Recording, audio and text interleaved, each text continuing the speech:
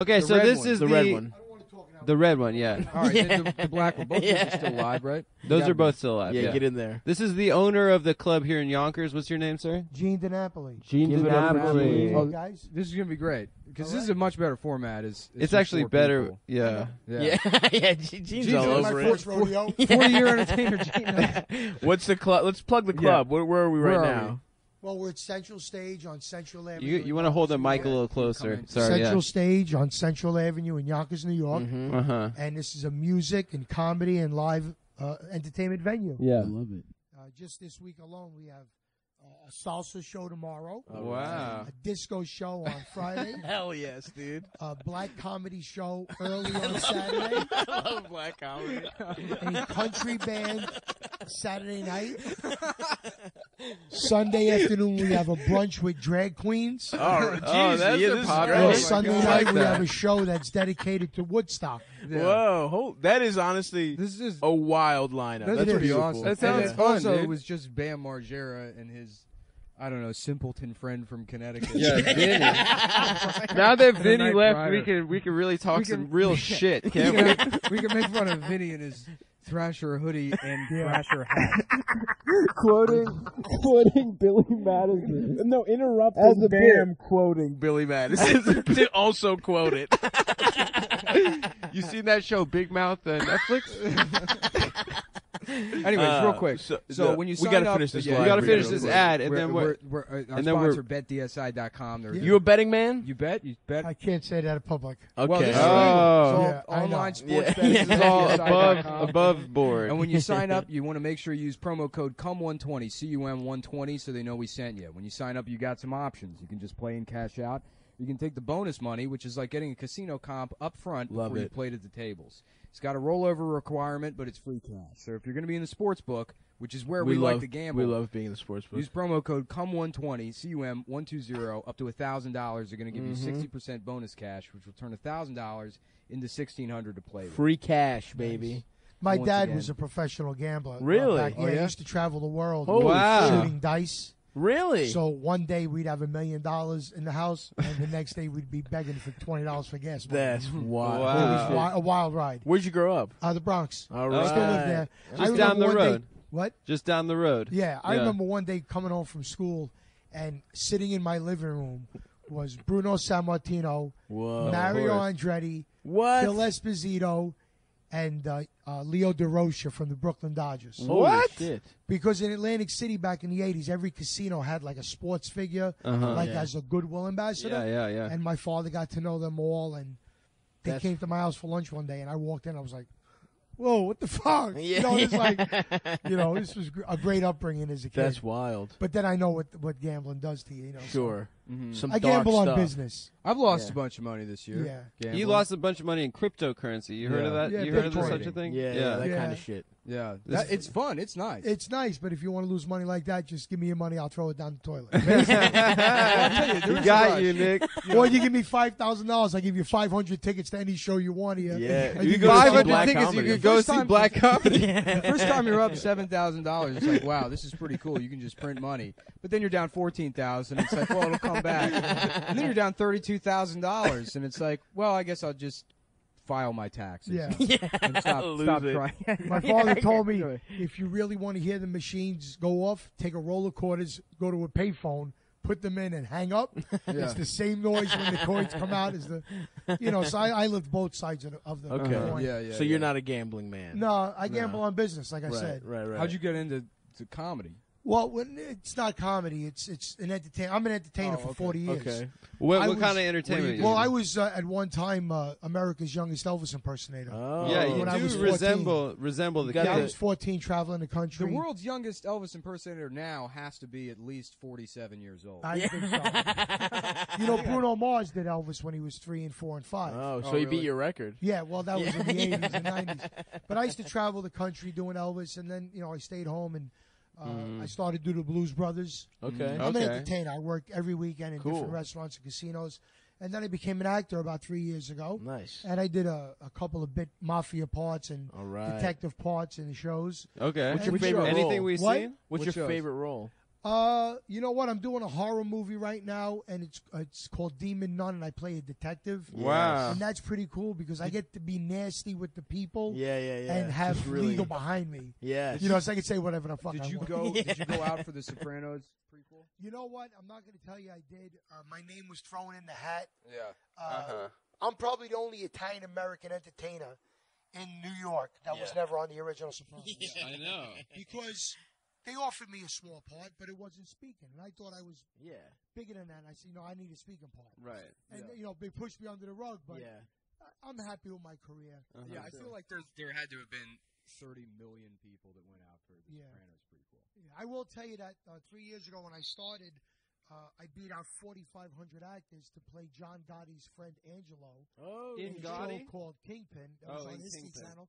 And they flew me to Bogota, South America for 12 Oh days. yeah. Carte blanche, and that was the first thing I ever went out for. Whoa. Wow. So- So you so were spoiled. You're in I that. was spoiled. yeah, yeah, yeah, yeah, yeah. I mean, but you've been in the game 40 years, you know. Yeah, But not, know, not acting. Not acting. But, But, you you know, know, when I made a living as Elvis, and I looked nothing like Elvis, Yeah. you know, only for the black hair and the sideburns and the jumpsuit, Uh-huh. somebody said, hey, you've been acting all your life. You just didn't know it. Right. Yeah. Exactly. So the, the mafia roles come very easy because. I'm, I guess I'm a street kid from the Bronx. Sure. I know how to talk. I know how to, you know. Right. Mhm. Shake But- someone down. Yeah, I can do what I got to do. I feel like Yeah. the, the probably the, the sweet spot for that kind of stuff was like the early 90s. I feel like It that was, genre you know- kind of died out.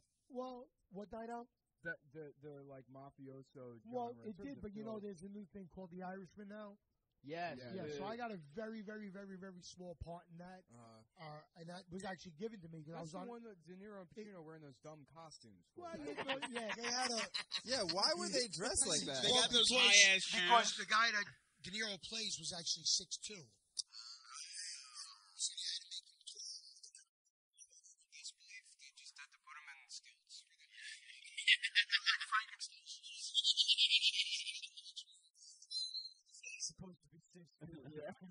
You know, Scorsese's directed it, and he wants everything spot on. Yeah. So, you know, I, I was in a room this big. People can't see it, but what do you think? Ten foot room. Yeah. I was in a room with De Niro, Whoa. Pesci, Whoa. Pacino, Uh-huh. Harvey Keitel, Holy Robert shit. Con- Bobby Cannavale, Yes. Uh-huh. and uh, Scorsese. That's Yeah. crazy. It was, and there was only four of the guys like me, which were non-stars. And I Uh-huh. looked over to one guy and said, "Yo, how the fuck did we get here, man? It's like it's like 900 guys out. funny outside." that that guy was like, "Well, I was an Elvis impersonator." Yeah. It has nothing to do with black comedy. It had nothing to do with that. But, uh, so you know, I figured, you know, getting into the nightclub business. Yes.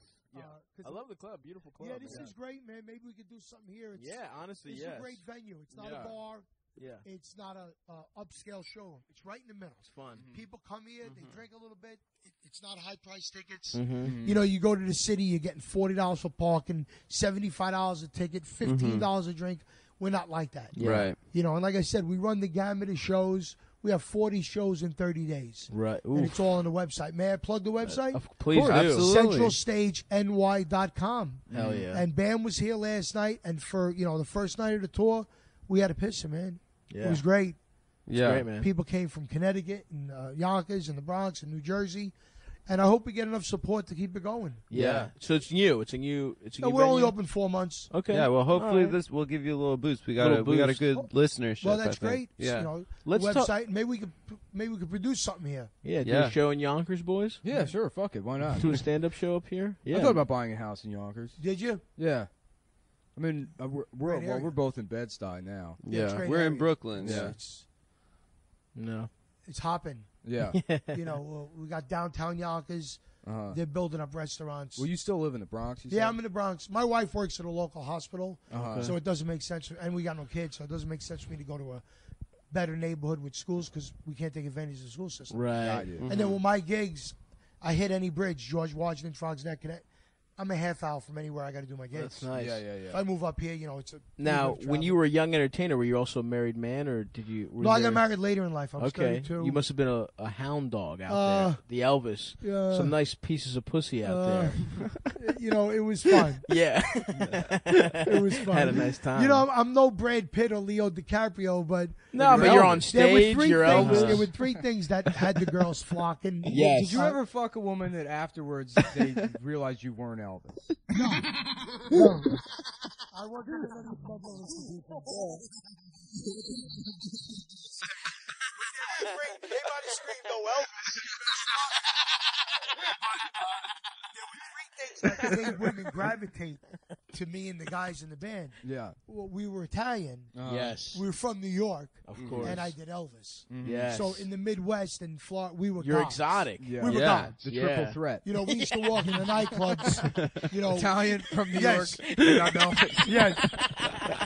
We used to walk in the nightclubs, and it was like the gates of heaven would open. That's the best. Really?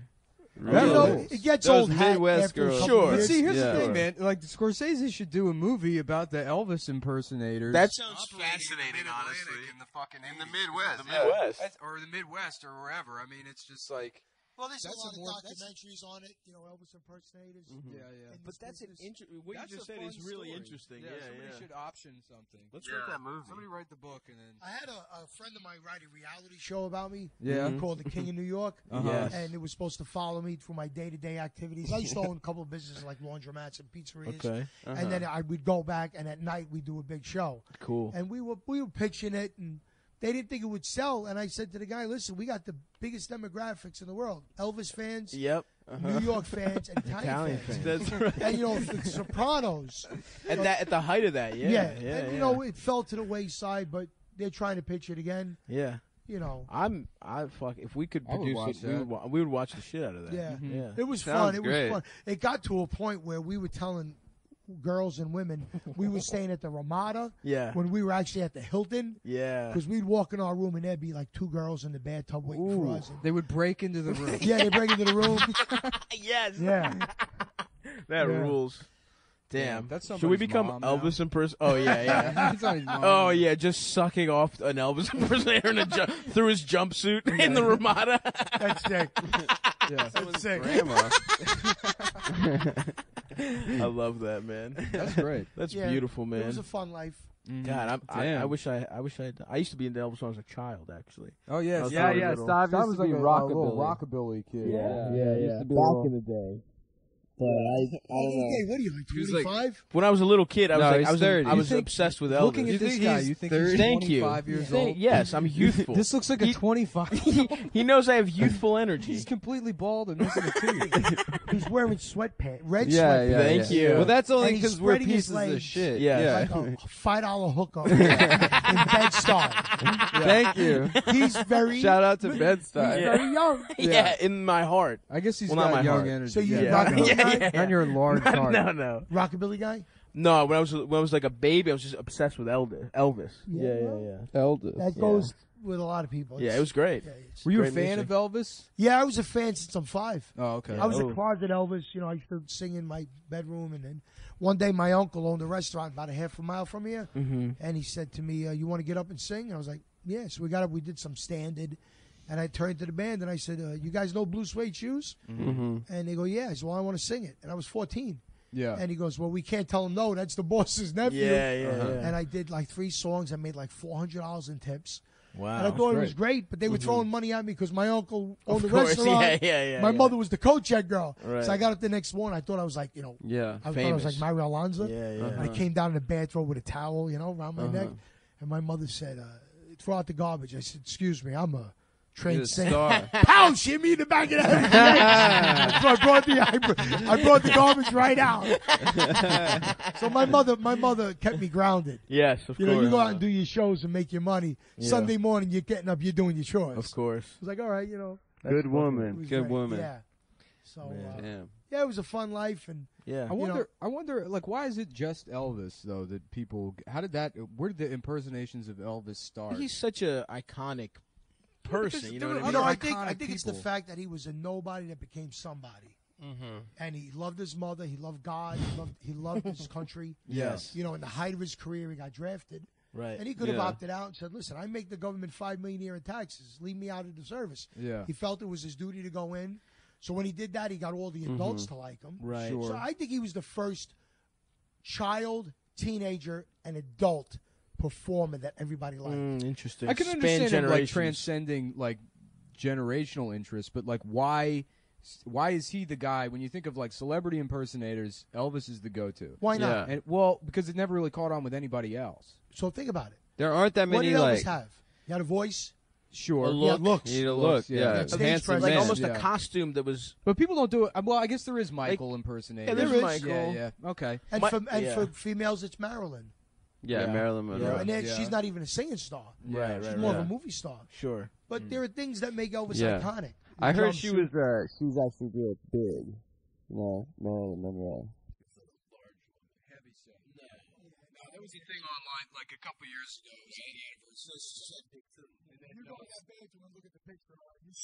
You got her in the bathroom.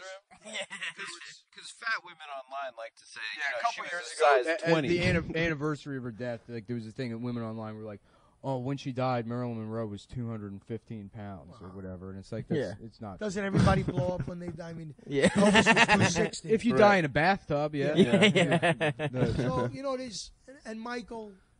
You know, I mean, you're talking about legendary performers, Sure. Sinatra, and Sure. you know the Beatles. Sure. You know, there's never going to be anybody from this era, Uh-huh. 50 years from now, that's going to be imitated the way it is. Yeah, d- Well, our heroes now are are Elon Bam. Musk. Bam, I would Ba- say. yeah, Bam. Bam. Yeah. Have you met him before? Were you hanging out with him throughout the week? Well, last night. Yeah, yeah, yeah. Did you know who he was before Oh you yeah, did the show? Sure, From the TV show. He's big. Yeah, he's he's big. big. Yeah. Yeah, I'm not going to lie to you and tell you I sat home and watched it. I Uh-huh. saw clips, but you know, I was a working entertainer. I didn't watch much TV. Uh-huh. You know, I used to go home and throw VHS tapes, which you don't even know what those are. I know what they Yeah. are. No, we've jacked Yeah, off to all, VHS. we're all jacked tapes. older than we Yeah. look. Oh, Yeah. yeah. We're 30. Yeah, but to have Bam here was. Uh, I had Artie Lange here a few weeks ago. Cool. Oh, great. And then we great. then we had some older legendary guys like Jackie the Joke Man, Mark Sure, Lane, Jackie. Yep. Nick DiPaolo, who's Oh. one of the Oh, best. yeah. he was here a few weeks ago. yeah. Yeah, and we got you know we got up and comers. Yeah. We have people that are popular, and we have people that are pop were popular 20, 30 years f- mm-hmm. Yeah. before. And we mm-hmm. give them the, the showcase and the venue. and Say, hey, you think you? Let's do it. Mm-hmm. Yeah. Let's put it out there to the masses. That's great, you know, man. Yeah, we're we're we're uh we're doing all right with that. Yeah. Yeah. And Where then we get 'em Congrats music- on it. How long you been in the spot? four months. Oh, okay. You ever do Elvis here? No, I'm not allowed. I, I work at the casino about a mile away. Oh, contractually, yeah, you're not I'm not allowed allowed. to do my own show. the casino also does comedy, don't don't Oh, they do everything. Yeah, yeah, yeah. Yeah, they they do it, and I'm contracted by them because I play there four or five times a year. Nice. So I can't play in the area. Right, They right, have, right. they have a, a non-compete Sure. for Elvis impersonators. For, well, for any tribute act they booked on a Thursday, there's a non-compete for this area. Because they're not going to pay you the money that you ask and then have you work two blocks away. Right, right, right. Mm-hmm. Un- unfortunately, fortunately, I'm there. Right. Unfortunately, my club is only a mile away. Is there? Have, have you ever had like? Can we get a little Elvis? Can you do? Yeah, Mine? can we go? What What does this? Does this? I, I don't want to violate your non-compete. If this, Well, this that's a show, baby. I, I'm allowed to talk any way I want, yes. but I can't do a show Oh. within a Wait, couple of miles. can you do Elvis saying s- instead of in the same way he says "Thank you very much," but "Suck me very dick"? That's like a joke we yes, do. yeah, yeah. We'll We go do out that on as "Suck a Me Very joke. Dick." Yeah, yeah, yeah. yeah. that would make that would make this. That would make our day. I can't. Seriously. Come on! I can't. I, I respect it. it's disrespectful to the I, king. I that would be disrespecting to. Elvis. Yeah, oh. yeah. I Suck can't. me very dick. That's almost better. Anyways. That's almost better. yeah, it is better. I will That leave is you with better. a- But man, I wish I could I go will back. leave you with a I thank you wish, very much. I wish I Yeah, could go back 40 years and give you the advice of telling you to say that to the groupies. Yeah. As a young Elvis Suck me very dick. and me as like a time traveling, possibly mentally disabled man coming to you and saying, "Listen, you got to say suck me very dick."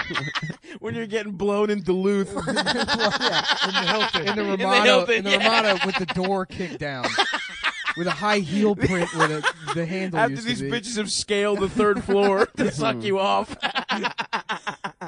I love it. Well, That's thank you. great. This is great. Yeah, this, man, this thank is so much. freaking- Thanks- the highlight thanks of the for show. hopping Yeah, on. yeah, yeah. It was better than the beginning. Yeah, I think, it was too chaotic. It but was it was too fun. chaotic. Yeah, we had a With big- the- Yeah, yeah, yeah, yeah. We're- we're- Bam was talking about his- in the same room. Yeah. Yeah, yeah. Bam was talking about his wife's pussy. yeah, yeah. It's something